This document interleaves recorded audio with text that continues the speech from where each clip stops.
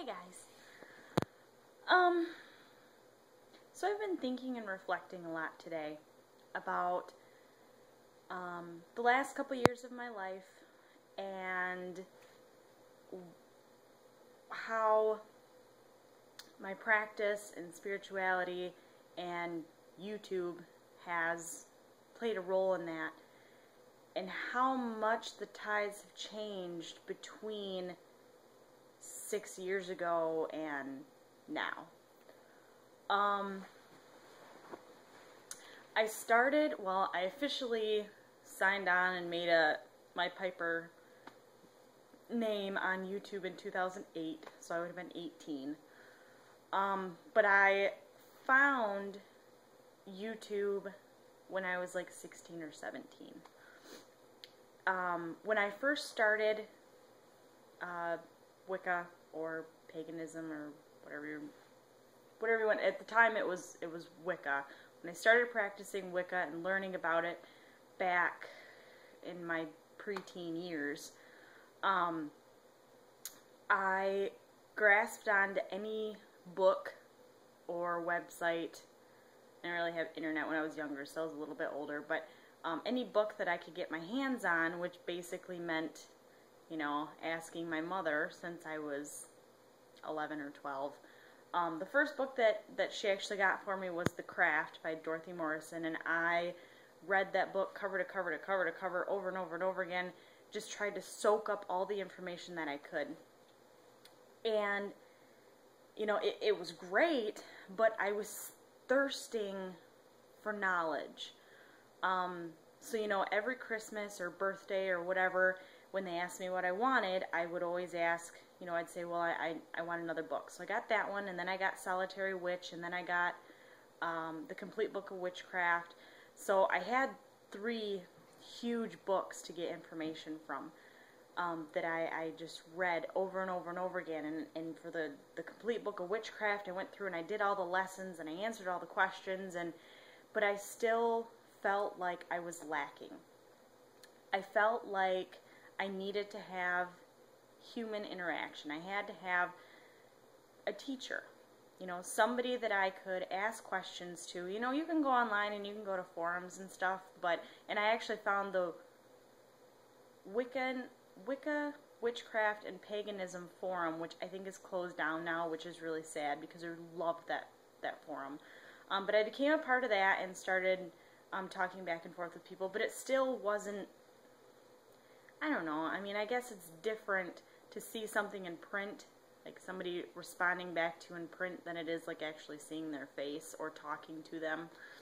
Um, so that helped a little bit, but, you know, I was, I was just, I was lost. I was kind of at a standstill on where to go and what to further and um, I didn't know if I had a sturdy foundation, if I learned everything I should have learned first, if, if there was things that I that I could keep to learn later, and if other things were more important. I mean, I mean everybody has different ways of learning things, but I just couldn't I couldn't grasp all the information. I mean, there's just so this practice you literally learn until until you die. I mean, there's just so much information. You can always be learning something.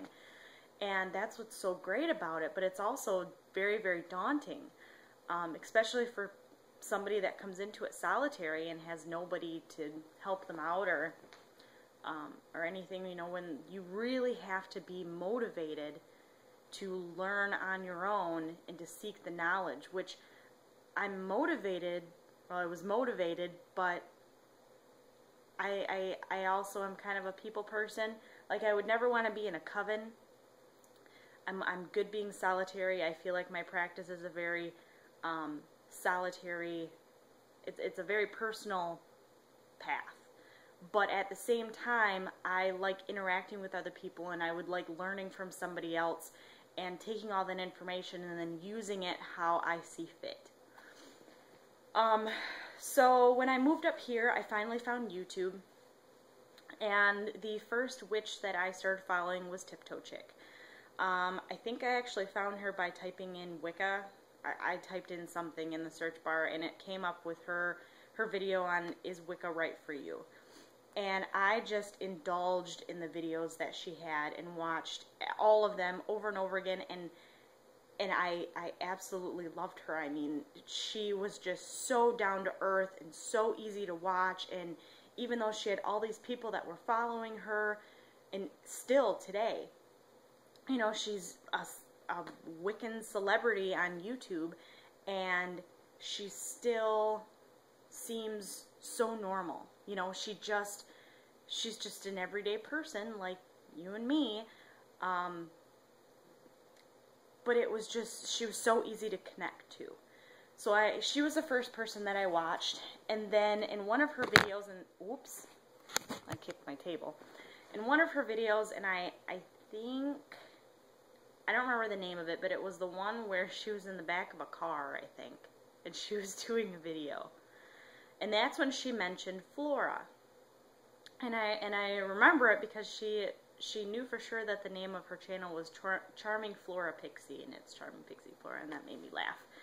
Um, but so then I went and started watching Flora's videos, and she's just so upbeat and so positive and so inspiring in that aspect. You know, when you're down or upset, you watch Flora, and she's just up and happy and going and yay for everything. And you know, she was, um, she became the second person that I started following on YouTube. Um, and those two, Flora and Dee, really became my two teachers. They were, I mean, it, it still wasn't the person to person interaction that I wanted. You know, I felt like they were too far out of my reach for me to be able to email them any questions that I had. And I definitely wasn't going to to get a hold of them and be like, please be my teacher. I need to know everything that you know.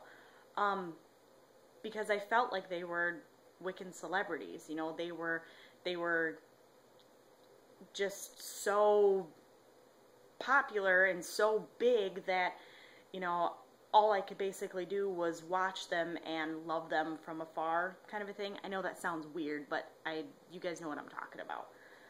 Um, so I I learned everything that I could from watching their videos.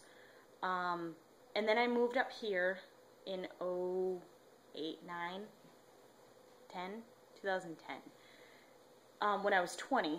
And I was living actually in the apartment that's like over and downstairs to this one. And um, I was, it wasn't, my relationship was, it was the better relationship of the ones that I've had, because the ones that I've had in the past were pretty horrific. Um, but the guy I was with had issues with intimacy, so it was basically like I was living with a roommate. You know, it was really, really hard to connect with him on anything. I mean, he was easy to live with when it came to, you know, we we split up everything with money. We, um, you know, we both enjoyed video games, but we'd both go and do our own thing. Um, I would go out and hang out with other people. He'd go hang out with other people. It, it he we'd go to bed at different times. I mean, we just had absolutely no intimacy at all, and that was very rough. Because um, I had moved him, both of us moved up from three hours away. His whole family was down there. My whole family was down there, other than my immediate family, which moved up here, which is why we moved. So I felt like I couldn't leave him because I had moved him away from everything. Um, so I was very, very alone up here. Uh, I, I felt very, very alone. And so their videos and watching them really, really helped me get through that rough patch in my life. Um, finally, you know, I met Kevin and uh, just figured out, I, I mean, it, when you find your soulmate, you know it. I mean, it just gets you right here and you just know with 100% certainty that that's the person that you you have to be with. Um, so a couple years down the road, um, well, actually it was like a year and a half down the road. um, you know, Kevin and I are now we moved into this apartment in March. Yes, March of this year. Um, and you know, I started my YouTube channel, but before that, he got a hold of Dee and got together this big birthday present for me, a big old herb starter because I was really getting into herbs with watching these videos and stuff. She really got me into herbs. And I, I really wanted to study herbalism. I didn't know what to do for it. So he's the one that actually uh, got a hold of Dee. They put all kinds of stuff together. I have a video on it. Um, and that act is what got Dee and I talking. And now, I mean, she, this woman that I followed and loved, you know, way back when, and she was just this amazing teacher, is now one of my best friends. You know, we talk weekly, and that is just such a gift to me. So I have Dee, who um, I really wanted to be my teacher when it came to, to herbs, because she obviously is the herb queen. I'm now taking an herbalism class, like a full herbal, I think it's six months. I'm pretty sure it's a six month course.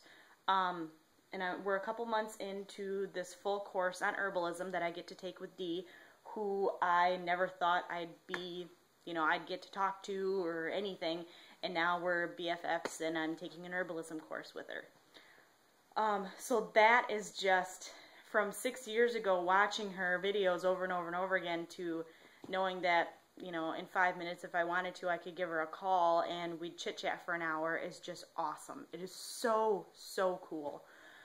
Um, and then Flora, you know, I watched all of her videos and I watched her grow from, you know, back from video one up to, you know, video 400 and some. And she started her business and, you know, she, she kind of grew into more of a um, businesswoman. Um, and, you know, she's got all her stuff going on. And I always said, and, and I think it was, it was last year, Kevin and I we're at my parents' house because I had to move in there before we could move out again. So I was downstairs and I was looking when her website was still the Yay Factor. And I was looking at her video or at her classes and I said, "Oh my god, she offers a full year and a day program." And that is that's been my dream. I've always wanted to do a year and a day program with a teacher. And to have it with somebody that I've been following for years would have been fantastic. But I, I think it was like a couple hundred dollars a month, and there's no way that I could have that I could afford it. I understood why it was as much as it was because it's a lot of work, and I get that. But for me, it just wasn't in the cards when I was going to school and had work and had all this other stuff, and I was saving up to move out, and there's just no way I could have did it. Well, now um, her she's still doing her web-based year and a day program and the last day to sign up for it is October 31st in like actually it's exactly a week.